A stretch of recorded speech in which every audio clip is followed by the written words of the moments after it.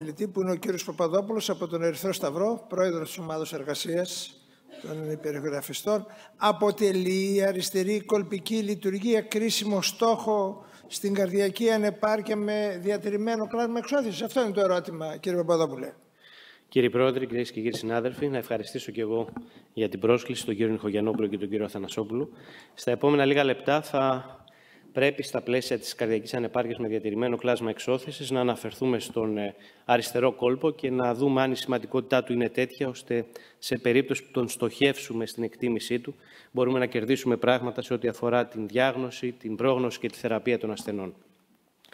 Γνωρίζουμε ότι ο αριστερός κόλπος έχει μια σύμπλοκη ανατομία και παρεμβάλλεται μεταξύ της αριστερής κοιλίας και της πνευμονικής κυκλοφορίας. Ο ρόλος του είναι ε, ο βασικός του ρόλος είναι να μπορεί να βοηθάει την αριστερή κοιλία στο να διατηρεί την, το προφόρτιό της και έτσι βοηθώντας και την καρδιακή παροχή, χωρίς όμως να αυξάνονται οι πιέσεις του πάνω από ένα ορισμένο όριο, γιατί αν αυξηθούν οι πιέσεις του, αυτές μεταφέρονται στην πνευμονική κυκλοφορία και έχουμε συμφόρηση ε, στις περιπτώσεις ασθενών με καρδιακή ανεπάρκεια.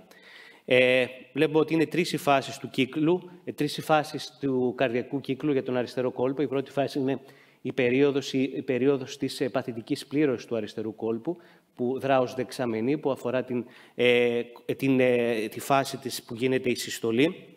Και είναι μια περίοδος που καθορίζεται από τις ιδιότητες του αριστερού κόλπου, τη χάλαση και την σκληρία. Ε, επίσης καθορίζεται από το πόσο ισχυρά συστέλλεται η αριστερή κοιλία και καθορίζει με τη σειρά της αυτή η φάση την πίεση στην πνευμονική αρτηρία. Η δεύτερη φάση είναι η, φάση της παθητικής κένωσης του αριστερού κόλπου από την έναρξη εδώ της διαστολής, της διάνοιξης μητροειδούς βαλβίδας μέχρι την κολπική συστολή είναι μια φάση που καθορίζεται από την χάλαση της αριστερής κοιλίας ε, και καθορίζει την, την ε, πρώιμη διαστολική πίεση της αριστερής κοιλίας. Και η τελευταία φάση είναι η φάση της κολπικής συστολής, η φάση που ο κόλπος δρά ως αντλία που συσπάται. Είναι η φάση που ε, καθορίζεται βέβαια από τη σπαστικότητα του αριστερού κόλπου, αλλά και από την διατασιμότητα, την compliance της αριστερής κοιλίας και καθορίζει την τέλος διαστολική πίεση της αριστερής κοιλίας. Ε, η καρδιακή ανεπάρκεια με διατηρημένο κλάσμα εξώθηση είναι μια κατεξονική πάθηση που πάσχει η διαστολή. Έχουμε στην αρχή ε, την ε, ε, διαταραχή της σκάλας, η οποία σιγά σιγά λόγω της διαταραχής της αναρρόφης της, της, αναρρόφης της αριστερής κοιλίας, του αίματος στην αριστερή κοιλία από τον αριστερό κόλπο, σιγά σιγά αυξάνεται και η σκληρία της αριστερής κοιλίας, με, με, με αποτέλεσμα σιγά σιγά να αυξάνονται και οι πιέσεις πλήρωσης της αριστερής κοιλίας, οι πιέσεις αυτές να πηγαίνουν προς τα πίσω και να αυξάνεται και η πίεση του αριστερού κόλπου. Βλέπουμε ότι η καρδιακή ανεπάρκεια με διατηρημένο κλάσμα εξώθησης διαφέρει από την καρδιακή ανεπάρκεια με ελαττωμένο κλάσμα εξώθησης, τόσο στην αιτιολογία, συνήθως είναι ασθενής, υπερτασική ασθενής, όσο και στο φαινότυπο των ασθενών αυτών. Είναι κυρίως γυναίκες, είναι μεγάλης ηλικίας, πάσουν πιο συχνά από πνευμονοπάθεια και από κολπική μαρμαριγή. Και βέβαια είναι μια ετερογενής πάθησης με αρκετούς υποφαινότυπους, όπως τα λέγαμε. Παίζει ρόλο ο αριστερός κόλπος, λοιπόν, με αυτά που είπαμε στην ε, ε πάθοφυσιολογία της ε, καρδιακής ανεπάρκειας με διατηρημένο κλάσμα εξώθησης. Προφανώς και παίζει σημαντικό. Είπαμε ότι η κύρια πάθηση είναι η διαστολική δυσλειτουργία και αύξηση των πιέσεων πλήρωσης που γυρίζουν στον αριστερό κόλπο προς τα πίσω, ο οποίος ε, αναδιαμορφώνεται, διατείνεται ε, επιδεινώνεται η κολπική, η κολπική λειτουργία του, που και από μόνη της μπορεί να είναι ε, ε, διατεραγμένη, αλλά επιδεινώνεται ακόμα περισσότερο η σπαστικότητα του αριστερού κόλπου, μπορεί να δημιουργηθεί κολπική μαρμαριγή. Όλα αυτά έχουν σαν αποτέλεσμα να αυξηθούν οι πιέσεις στον αριστερό κόλπο, να μεταφερθούν στην πνευμονική κυκλοφορία, με αποτέλεσμα στην αρχή σπασμό των πνευμονικών τριχοειδών και στη συνέχεια και συνέχεια ίνωσή τους, με αποτέλεσμα να έχουμε στην αρχή αυξημένες πιέσεις στην πνευμονική κυκλοφορία που, είναι, που μπορούν να μειωθούν και στη συνέχεια να είναι μόνιμες. Και όλο αυτό μεταφέρεται και στην δεξιά κοιλία, με αποτέλεσμα την διαταραχή στη σύζευξη δεξιάς κοιλίας πνευμονικής κυκλοφορίας και στην ε, δεξιά πνευμονική ε, δεξιά δυσλειτουργία. Ε, Συνεπώς, ο αριστερός κόλπος, με αυτά που είπαμε, έχει ένα πραγματικό ρόλο κλειδί στο να διατηρεί τη διαστολική φάση της καρδιακής ε, λειτουργίας και να προστατεύει από τα συμπτώματα της καρδιακής ανεπάρκειας σε ασθενείς με διαστολική δυσλειτουργία Φαίνεται ότι παίζει ένα ρόλο επίσης κλειδί στο, στην, στον παθοφυσιολογικό μηχανισμό, ο οποίος οδηγεί από έναν συμπτωματικό ασθενή με διαστολική δυσλειτουργία σε έναν συμπτωματικό ασθενή με καρδιακή ανεπάρκεια με διατηρημένο κλάσμα εξώθησης. Φαίνεται ότι είναι τέτοια η σημασία του, όπου υπάρχουν πολλοί που το θεωρούν ότι οι ασθενείς με καρδιακή ανεπάρκεια και διατηρημένο κλάσμα εξόδης, που ούτως ή άλλως έχουν διαφορετικούς φαινοτύπους, ένας από τους υποφαινοτύπους που έχουν είναι οι ασθενείς που έχουν δυσλειτουργία στον αριστερό κόλπο και οι οποίοι αρχίζουν να εμφανίζουν τα κύρια συμπτώματα. Και κάποιοι άλλοι λένε ότι ο αριστερός κόλπος αποτελεί τη γλυκοζηλιωμένη αιμοσφαιρίνη της διαστολικής δυσλειτουργίας, γιατί μπορούμε να δούμε από την λειτουργικότητά του, τη διαστάση και τη λειτουργικότητά του, κατά πόσο είναι προωθημένη, κατά πόσο είναι σημαντική η καρδιακή ανεπάρκεια, η διαστολική δυσλειτουργία, κατά πόσο έχει αυτή συνέπειες στα συμπτώματα και στην ε, συστηματολογία του ασθενή. Έχουμε λοιπόν, ε, στο πρώτο ερώτημα απαντήσαμε, έχει σημαντικότητα ο αριστερός κόλπος. Το δεύτερο ερώτημα είναι, έχουμε τους κατάλληλους δείκτες, ε, απεικονιστικούς δείκτες, για να μπορέσουμε να βγάλουμε στην επιφάνεια αυτή τη σημαντικότητα και να μας βοηθήσει να εκτιμήσουμε καλύτερα αυτούς τους ασθενείς. Έχουμε αυτούς τους δείκτες όπως φαίνεται, τώρα καλύτερα από ό,τι στο παρελθόν. Έχουμε αυτούς τους δείκτες που αφορούν τις διαστάσεις του αριστερού κόλπου με τη διάμετρό του, αλλά και τον όγκο κυρίως του αριστερού κόλπου ανά BSA, όπου το 34 ml ένα τετραγωνικό μέτρο επιφάνεια σώματος φαίνεται ότι είναι ένας κρίσιμος δείκτης πάνω από τον οποίο η διάταση του αριστερού κόλπου φαίνεται ότι έχει και κλινική σημασία. Ε, και εκτός από αυτό έχουμε και τους λειτουργικούς δείκτες. Έχουμε δηλαδή το κύμα, έχουμε από τη διαμητροειδική ροή το κύμα α, το οποίο ουσιαστικά μας δείχνει πόσο καλή είναι η σπαστικότητα του αριστερού κόλπου, αλλά επηρεάζεται από τις συνθήκες φόρτισης. Έχουμε επίσης το κύμα α τόνος από, την, ε, από το TDI, το ιστικό Doppler, που μας δείχνει κατά κάποιο τρόπο τη λειτουργικότητα του αριστερού κόλπου. Έχουμε τα κύματα από τις πνευμονικές φλέβες, που όμως και αυτά μας δείχνουν τη λειτουργικότητά τους σε όλες τις φάσεις, στην φάση της παθητικής πλήρωσης, παθητικής και ενεργητικής κένωσης, αλλά και αυτά έχουν ε, θέμα με το, ε, ε, με το προφόρτιο, ε, και βέβαια εκτός από αυτά έχουμε και τους καινούριους δείκτες. Μπορούμε να δούμε τους όγκους του αριστερού κόλπου και με τη διάστατη ηχοκαρδιογραφία και πρόσφατα με την τριών διαστάσεων ηχοκαρδιογραφία. Και από τους όγκους που έχουμε μπορούμε να βρούμε τα κλάσματα του αριστερού κόλπου. Το κλάσμα που είναι της, ε, το ολικό κλάσμα του αριστερού κόλπου, της, ο, της ολικής κένωσης του αριστερού κόλπου που ουσιαστικά αφαιρούμε τον ελάχιστο από τον μέγιστο όγκο του αριστερού κόλπου, το κλάσμα που είναι της, ε, ενεργητικής, ε, της παθητικής κένωσης του αριστερού κόλπου, το οποίο ε, αφαιρούμε τον, ε, ε, τον όγκο που έχει ο αριστερό κόλπος πριν την κολπική συστολή από τον όγκο που έχει το μέγιστο όγκο και, τον, ο, και το κλάσμα της κένωσης, το κλάσμα της λειτουργικότητας του αριστερού κόλπου της κολπικής συστολής, όπου αφαιρούμε τον ελάχιστο όγκο από τον όγκο που έχει ο αριστερός κόλπος πριν την ε, πριν τη συστολή του.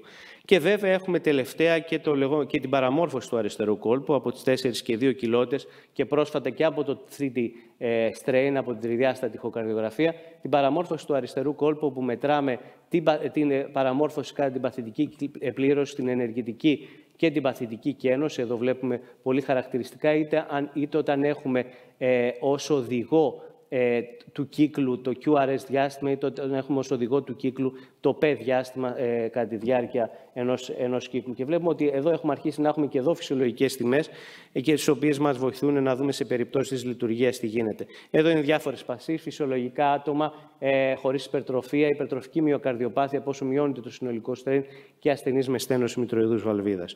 Παρ' όλα αυτά και παρότι έχουμε αυτή την παραμόρφωση και μπορούμε καλύτερα να εκτιμήσουμε σε ορισμένες περιπτώσεις τον αριστερό κόλπο, έχουμε περιορισμούς. Το τείχομα του κόλπου είναι λεπτό, είναι στο άπο πεδίο ο κόλπος, οπότε είναι πιο, είναι πιο δύσκολο να εμφανίζεται με, με μεγάλη ευκρίνεια. Είναι δύσκολο να κάνουμε την οριοθέτηση του κόλπου. Είπαμε ότι είναι πολύ μικρό, οπότε και το, το πεδίο της ε, απεικόνησης ό,τι αφορά το strain είναι λιγότερο, είναι λιγότερο αξιόπιστο, ειδικά σε περιπτώσεις που έχουμε και εκεί το, και το ιδές βοθρίο αλλά και τις πνευμονικές φλέβες και υπάρχει μέτρια ε, και μεταβλητότητας στις μετρήσεις και μεταξύ του ίδιου μελετητή και μεταξύ διαφορετικών και δεν μπορούμε εύκολα να χρησιμοποιήσουμε αυτές τις μετρήσεις για την ε, ίνωση.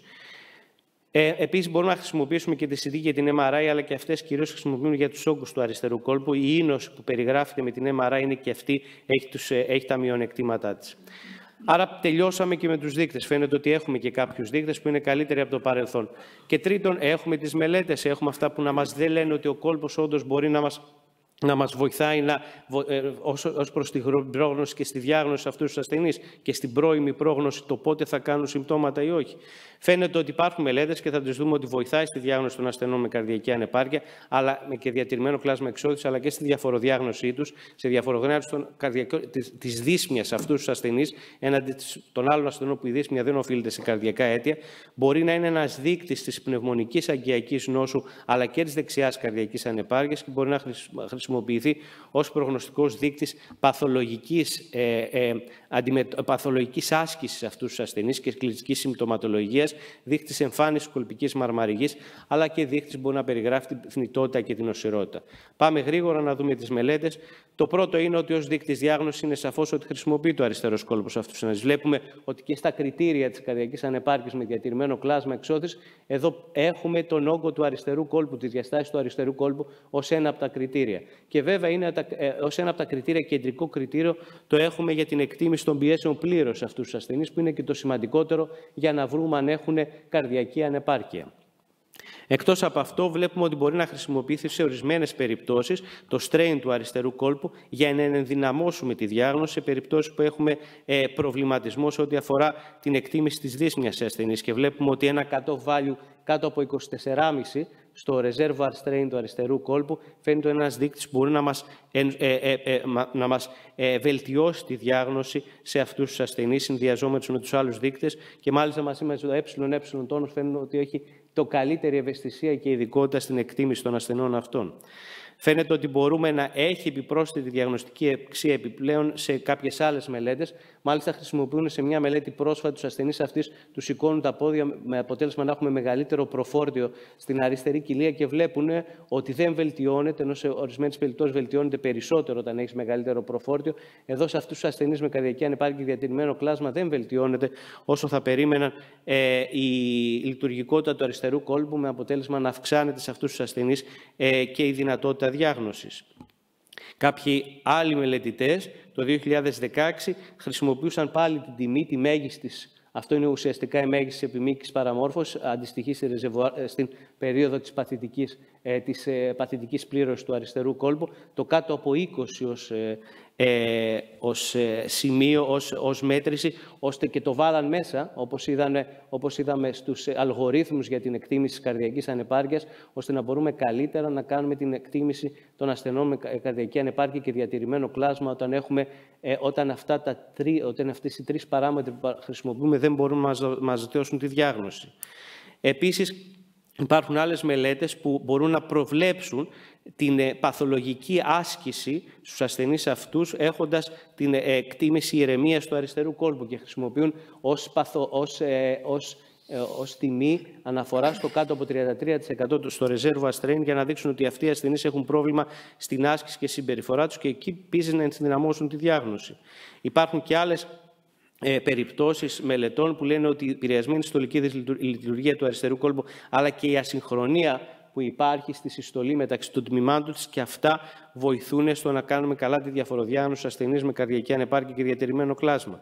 Άλλες μελέτες δείχνουν ότι φαίνεται ότι σχετίζεται η δυσλειτουργία του αριστερού κόλπου όσο και τόσο με τη δυσλειτουργία της αριστερής κοιλίας, όσο επίσης και με την αντίσταση που υπάρχει στα πνευμονικά ε, τριχοειδή και στην ε, διατασιμότητα των πνευμονικών αγκίων.